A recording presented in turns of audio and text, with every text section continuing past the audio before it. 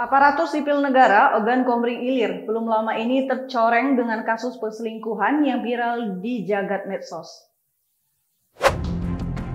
Kini kembali muncul sebuah video mesum, video call seks yang diduga melibatkan oknum ASN di wilayah Kabupaten Oki.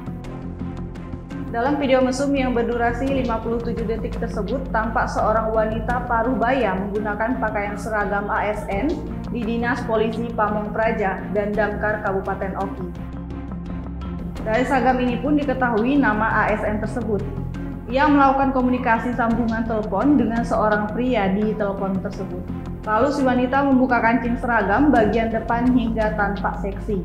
Keduanya berkomunikasi dengan bahasa yang porno, di video tersebut terlihat ruang kerja sekaligus posisi duduk sang wanita. Hingga akhirnya sambungan video call tersebut terputus karena ada tamu yang masuk ke ruangan ASN tersebut.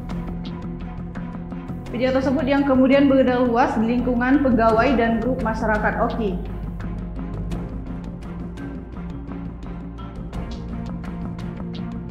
Menanggapi hal ini, Kepala Badan Kepegawaian Pendidikan dan Pelatihan OKI, Denny Maulidini, SKM, mengatakan pihaknya telah mendapatkan informasi akan viralnya video yang melibatkan oknum ASN yang ada di Kabupaten OKI tersebut.